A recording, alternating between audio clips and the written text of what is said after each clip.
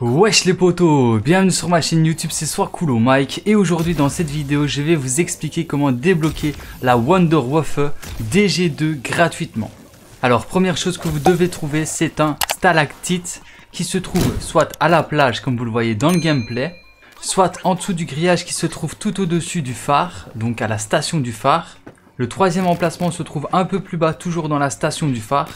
Et le dernier emplacement se trouve encore un tout petit peu plus bas à la crique du phare en dessous des escaliers. Quand vous avez récupéré le stalactite, rendez-vous au gaillard d'avant, au bout du bateau, il y aura une casserole avec un feu juste en dessous. Placez le stalactite dans cette casserole et attendez qu'il fonde. Quand le stalactite aura fondu, vous pourrez récupérer la clé qui était enfermée dans le stalactite. Quand ceci est fait, rendez-vous au complexe. Pour se rendre au complexe, vous aurez besoin de la poignée à tyrolienne. Si vous ne savez pas comment obtenir cette poignée, une playlist avec tous les tutos de cette map est en description. Ensuite, ouvrez le coffre qui se trouve dans la salle d'entreposage des spécimens avec la clé. Ce que vous allez devoir faire, c'est tuer plus ou moins une dizaine de zombies dans cette pièce pour alimenter l'appareil Vril.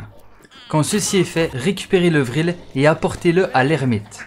L'ermite vous donnera ensuite une clé en or pour ouvrir le coffre qui se trouve juste derrière. Et ensuite récupérer l'arme qu'il y a dans le coffre.